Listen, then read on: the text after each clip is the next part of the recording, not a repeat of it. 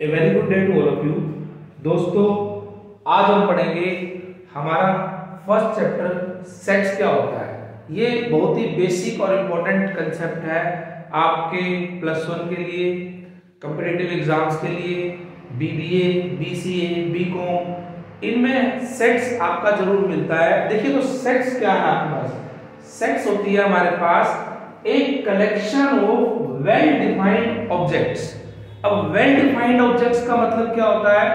Well defined objects को आप ध्यान से समझिए। वेल डिफाइंड मींस जो आपके हर जगह एक जैसे हो। कलेक्शन ले लो उनकी, उसको बोलेंगे हम सेट्स फॉर एग्जांपल हम ये बोलते हैं नंबर ऑफ़ या collection of students in a class it is a well defined मतलब स्टूडेंट्स इन ए क्लास आप किसी भी पर्सन से पूछ लेना, वो उतना ही बताएगा जितनी आपकी कलेक्शन में आएँगे तो ये हमारा एक वेल डिफाइंड हो गया। वेल डिफाइंड सब्जेक्ट कलेक्शन होने को हम बोलते हैं सेट जनरली लोगों को यह नहीं पता होता कि वेल डिफाइंड क्या है। अब मैंने ये लिख दिया कि collection of collection of rivers in India Now, rivers in India is well defined. हर एक पर्सन के लिए रिवर्स इन इंडिया सेम रहेगी। तो ऐसे कलेक्शंस को हम बोलते हैं सेट्स अब देखिए ध्यान से। अब मैंने बोल दिया collection of good players in cricket cricket के गुड प्लेयर्स बताओ। उसकी कलेक्शन ले ली। Now, it is not well defined this is not well defined collections. अब आप कहोगे, सर, ऐसा क्यों? ये वेल डिफाइंड कलेक्शन क्यों नहीं है? एक पर्सन के लिए good player Sachin is a good player हो सकता है दूसरे के लिए Sehwag is a good player तीसरे के लिए Virat Kohli is a good player so collection of good players जहाँ पर कोई विशेषता आ जाएगी, वो हमारी वेल डिफाइंड कलेक्शन नहीं होगी. गुड बेस्ट बेटर बैड ये एक विशेषता को रिप्रेजेंट करते हैं तो ऐसी कलेक्शंस को हम सेट्स नहीं कहेंगे। ऐसे हमारे बहुत सारे एग्जांपल्स हैं जो हमें मिल जाएँगे। Like that collection of vowels in an English alphabet English alphabet में वोवल्स को A E I O you किसी भी पर्सन से पूछ लेना, उसके लिए यही रहेंगे। तो वो हर जगह जैसी रहेगी, ऐसी कलेक्शन को सेट्स कहते हैं। कभी भी दोस्तों, बच्चों कंफ्यूज नहीं होना, गलत आंसर नहीं देना। उसके बाद हमारे पास आता है कि what is the representation of collection of set तो हमारे पास, देखिए, अब सेट्स को हम लिखते कैसे हैं जनरली रिप्रेजेंटेशन देखते हैं हमारे पास। तो नेक्स्ट टॉपिक में आ जाएगा हमारे पास the representation of collections of sets तो सेक्स रिप्रेजेंटेशन तो सेक्स रिप्रेजेंटेशन में हम क्या लिखेंगे? हमारे पास दो टाइप की रिप्रेजेंटेशन होती है। एक होती है आपके पास सेट बिल्डर फॉर्म ध्यान से देखना बच्चों, ये क्वेश्चन एग्ज़ाम में आता है। इंपोर्टेंट कंसेप्ट है। और दूसरी होती है आपके पास रोस्टर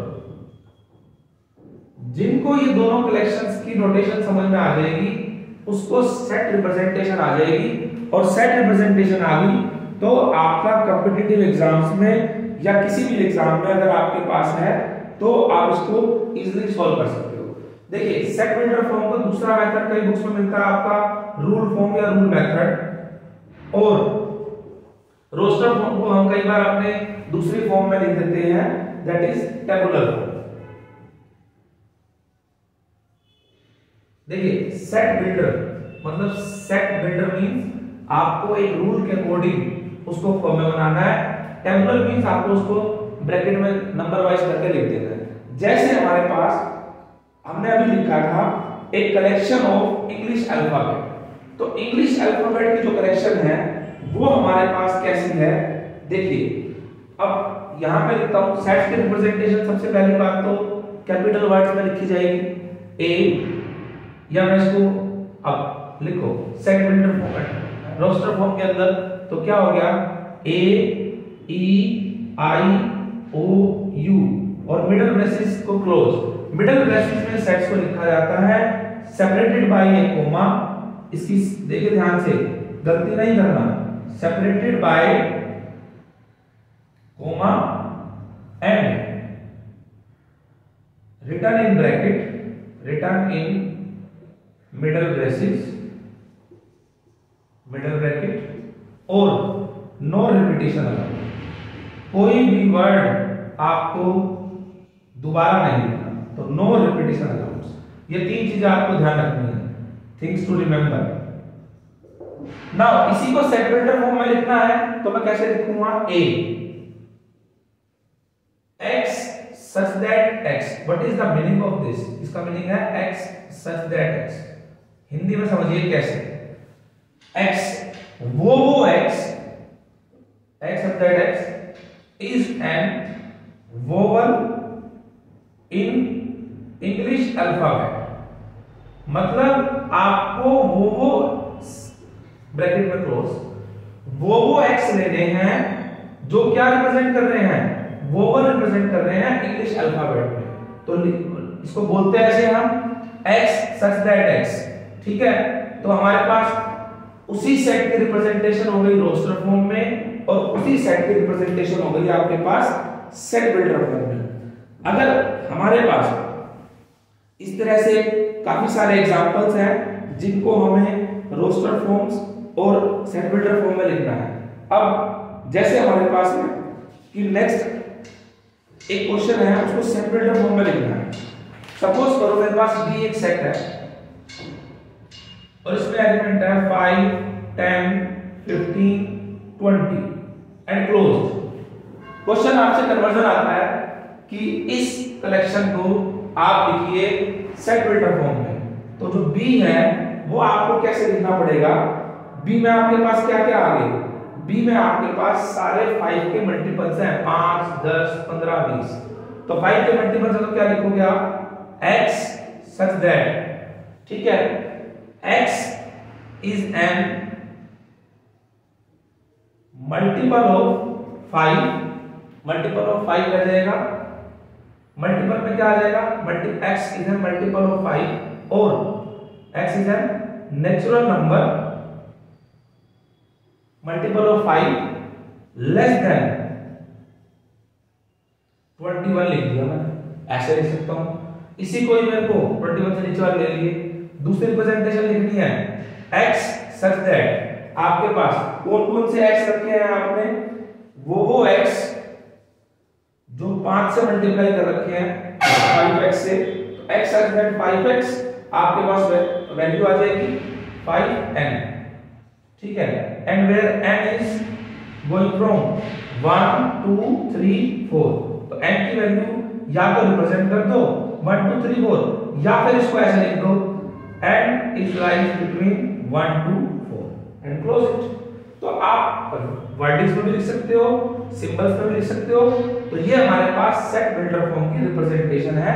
अगर हमें एक दूसरे का कन्वर्जन पूछा जाता है। अगला क्वेश्चन इसी में ही सपोज़ मेरे पास एक सेट बिल्डर फॉर्म दे रखी है, और अब मुझे उसको कन्वर्ट करना है रोस्टर फॉर्म में। क्योंकि ये कन्वर्जन ही आपका है, जो एग्ज़ाम में पूछी जाती है। तो हमारे पास कौन सी कन्वर्जन है? जैसे एक सेट दे दिया सी x सच दैट कौन कौन से x? X is a root of equation x square is equal to 9 and x belongs to natural number तो इसके रूट क्या होंगे? सोल्व करो. किन का स्क्वायर करने से 9 आता है? सिंपलीफाई करेंगे तो हमारे पास दो आंसर आ जाएँगे थ्री और माइनस थ्री लेकिन 3 और माइनस तीन में से आपका नेचुरल नंबर कौन सा होता है? नेचुरल नंबर कौन से होते हैं? जो आपके पॉजिटिव हो। ठीक है? अब आपके पास जब नेचुरल नंबर पॉजिटिव रहेंगे तो ये वाला नंबर कैंसिल क्योंकि this is not a natural number negative हो गया ये। तो three three is the answer तो रोस्टर फॉर्म इसकी क्या हो जाएगी? It contains only a single element only a single element that is three तो this is the notations sets representations हमारे पास आता है। इसके बाद हमारे से पूछता है कई बार व्हाट आर फाइनाइट और इनफाइनाइट सेट अब आप कहोगे, सर फाइनाइट और इनफाइनाइट सेट कैसे पढ़ेंगे? तो फाइनाइट और इनफाइनाइट का मतलब है आपके पास वो सेट्स जिनके अंदर नंबर्स क्या रहे? फाइनाइट रहे? जैसे इसमें सिंगल एलिमेंट है। सिंगल फाइनाइट काउंटिंग जिन एलिमेंट्स को आप काउंट कर सकते हो काउंटिंग में वो फाइनाइट और जिनको काउंट नहीं कर सकते हो, वो इनफाइनाइट तो सिंगल एलिमेंट है तो ये कैसा हो गया? फाइनाइट सेट अब जैसे मैं कहता हूँ set of natural numbers one two three चलता जाएगा। Now this set is an infinite set तो ये एग्जांपल हो गया इनफाइनाइट सेट का। तो हमारे पास फाइनाइट सेट आ गया इनफाइनाइट सेट आ गया। उसके बाद, देखिए, इसी में ही तो फाइनाइट इनफाइनाइट तो बहुत आसान था। हमारे पास कई बार पूछता है एम्प्टी सेट कैसे होते हैं? एम्प्टी सेट और we can say that void set ये क्या होते हैं? कई बार पूछता है सिंगलटन सेट क्या होते हैं?